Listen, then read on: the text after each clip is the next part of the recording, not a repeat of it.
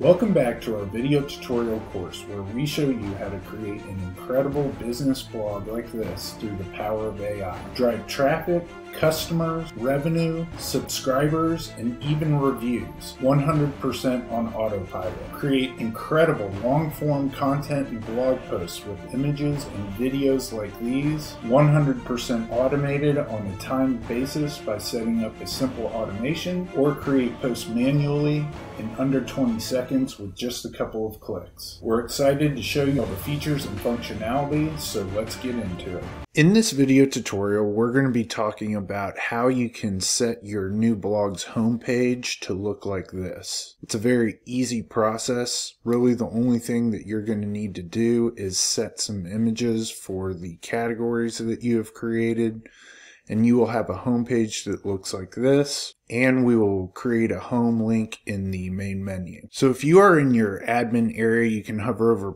pages and you can click on all pages and you'll see the home page right here. We're going to be adding additional home page templates that you can choose from and those will show up in the draft pages, but we're going to go ahead and utilize this home page. As mentioned, the one thing that we will need to do is set our category featured images so those show up in this widget right here. And to do that, we can hover over edit posts and we can go to categories. And for each one of the categories, we're just going to need to click into the edit screen and then you will see a featured image section right here. You can click on upload and you can either choose from one of the images that have been imported for the posts that you have created.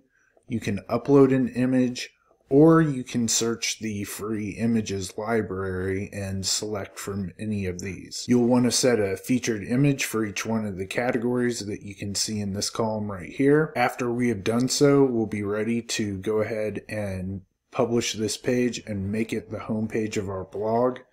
To make it the homepage of our blog, we're going to need to hover over theme options and click on homepage. And instead of having the homepage be our latest post, we're going to want to select a static page and we're going to want to set that to home.